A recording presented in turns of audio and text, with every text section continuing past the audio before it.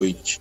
Mas ontem, Jorge, ainda pela manhã, aconteceu um fato aqui em São Luís, onde um vereador aqui da, da cidade, da Baixada Maranhense, o vereador Lauro Jorge, ele foi detido sob suspeita de violência doméstica. O incidente ocorreu no bairro do Vinhais, aqui em São Luís, onde ele é acusado de agredir sua enteada, a fisioterapeuta Fernanda Maia.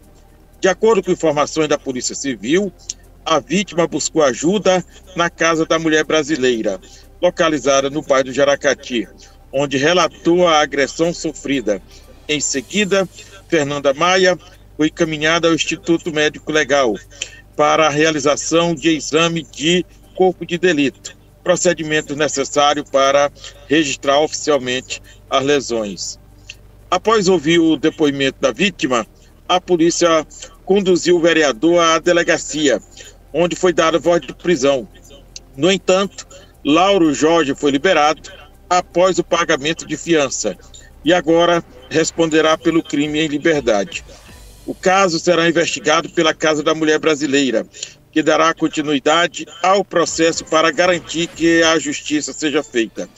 A violência doméstica é uma questão grave e deve ser tratada com a devida seriedade pelas autoridades competentes.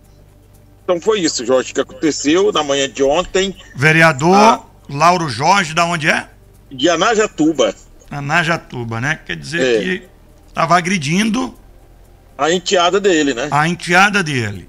A enteada dele, que é fisioterapeuta, e ela não pensou duas vezes, foi até a casa da mulher brasileira e fez a denúncia, né?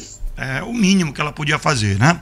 Isso. E agora, mas e uma pessoa dessa quer ainda ser representante do povo de Anajatuba? Isso. Brincadeira, né?